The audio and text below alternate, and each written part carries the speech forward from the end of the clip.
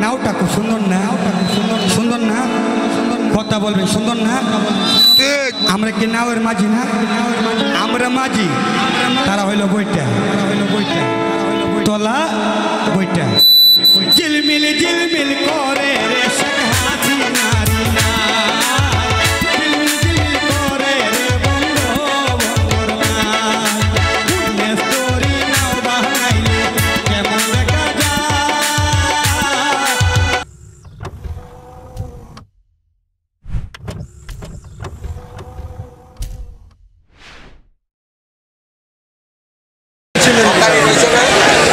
উপজেলা আওয়ামী লীগ ও অঙ্গ সহযোগী সংগঠন কর্তৃক আয়োজিত মাননীয় জননেত্রী শেখ হাসিনার উন্নয়ন কর্মকাণ্ডের উপর ক্যাম্পিং এবং বাংলাদেশ আওয়ামী স্বেচ্ছাসেবক লীগের কেন্দ্রীয় শ্রম বিষয়ক সম্পাদক নির্বাচিত করায় ব্যারিস্টার গোলাম মুসিন ভুইয়াকে, গোলাম কবির ভুইয়াকে সম্বর্ধনা অনুষ্ঠানের আজকের শ্রদ্ধাভাজন সভাপতি তারাইলের সিংহ পুরুষ তারাইলের আওয়ামী লীগের বটবৃক্ষ জনাব অ্যাডভোকেট জনাব বীর মুক্তিযোদ্ধা আজিজুল হক ভুইয়া মুতার সাহেব, আজকে মঞ্চে উপস্থিত আছেন তারাইল উপজেলা আওয়ামী লীগের নেতৃবৃন্দ, অঙ্গ সহযোগী সংগঠনের নেতৃবৃন্দ, আওয়ামী লীগের সাবেক এবং বর্তমান চেয়ারম্যান বৃন্দ, করিমগঞ্জ আওয়ামী লীগ এবং স্বেচ্ছাসেবক লীগের নেতৃবৃন্দ, এই তারাইলের আমার শ্রদ্ধেয় পিতৃতুল্য মুরব্বিয়ান এবং সমবয়সী ভাইয়েরা,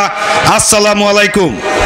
আমি আজকে এই বাসার মাস ফেব্রুয়ারিতে সকল ভাষা শহীদদের প্রতি শ্রদ্ধা জানিয়ে এবং স্বাধীনতার স্থপতি বঙ্গবন্ধু শেখ মুজিবুর রহমানের আত্মার প্রতি শ্রদ্ধা জানিয়ে উনিশশো পঁচাত্তর সনের পনেরোই আগস্ট ঘাতকের বুলেটে বঙ্গবন্ধু সপরিবারে যারা নিহত হয়েছে, তাদের প্রতি শ্রদ্ধা জানাই।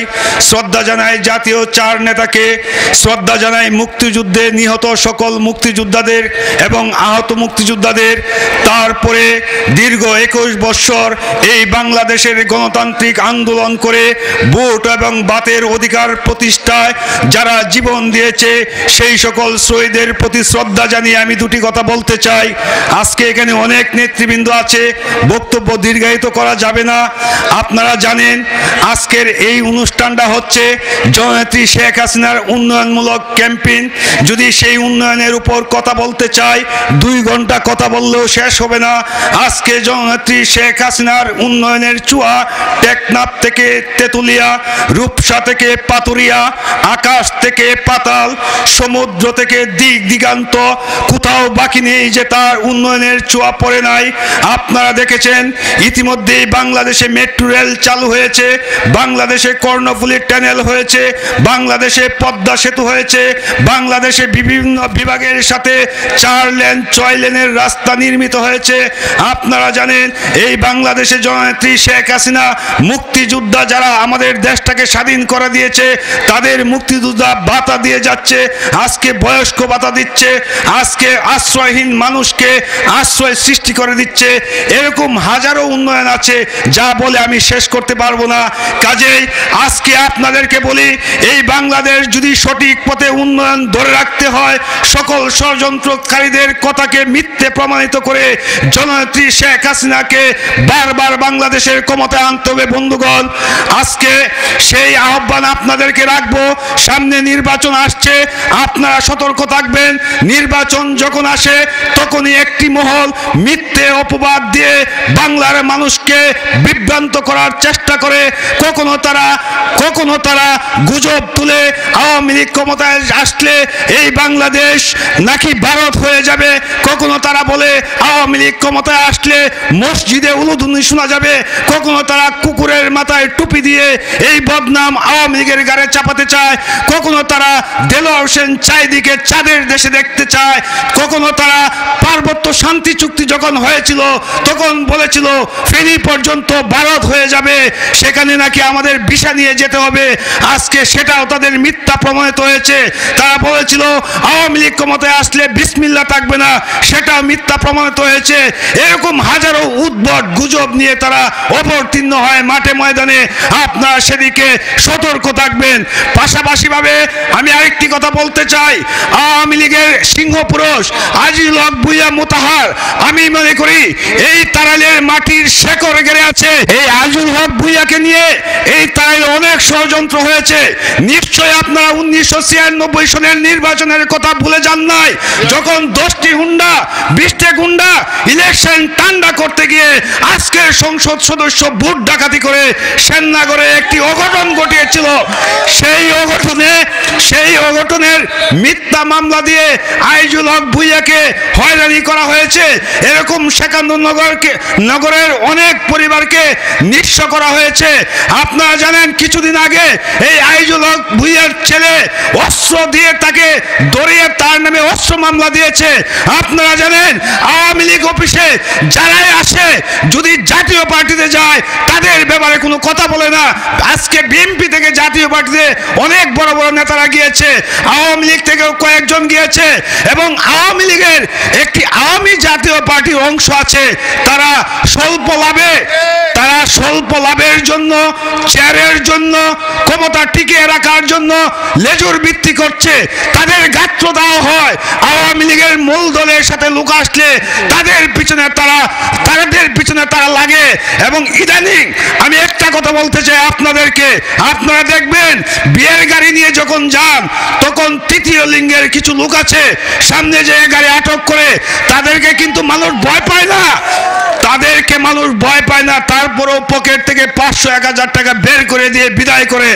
আজকে আজকে সুশিক্ষিত উচ্চ শিক্ষিত বেস্টার গোলাম কবির ভুইয়া যখন উচ্চ পদের শ্রম বিষয়ক সম্পাদক হয়েছে স্বেচ্ছাসেবক লীগের, আমরা যারা এখানে পড়ে আছি, আমরা যারা আগামী পঞ্চাশ বছরেও কেন্দ্রীয় নেতা হওয়ার স্বপ্ন দেখতে পারি না, আজকে আমাদের বিরুদ্ধে, আমাদের গাত্র দেওয়া শুরু হয়েছে।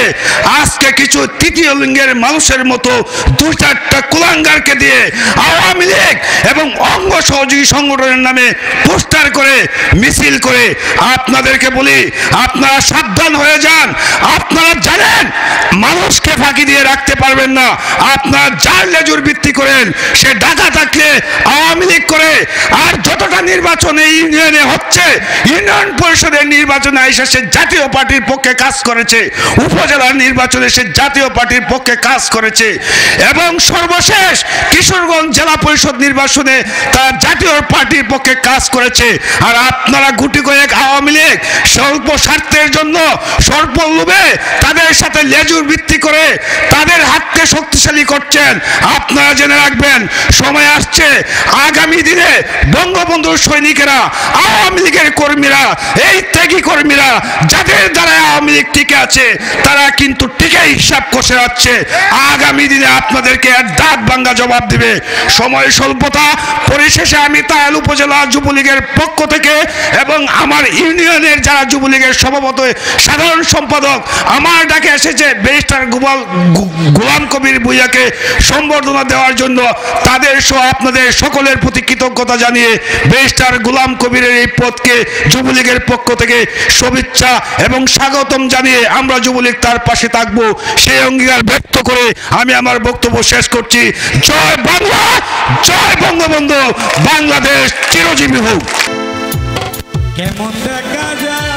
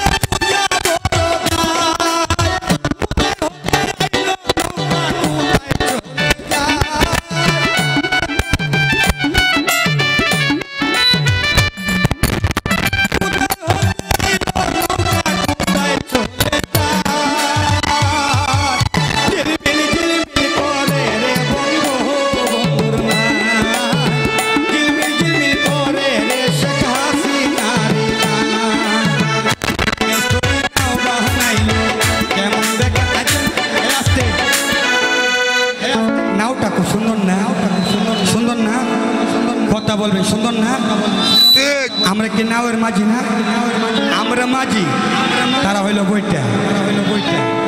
তলা বইটা। ঝিলমিল ঝিলমিল করে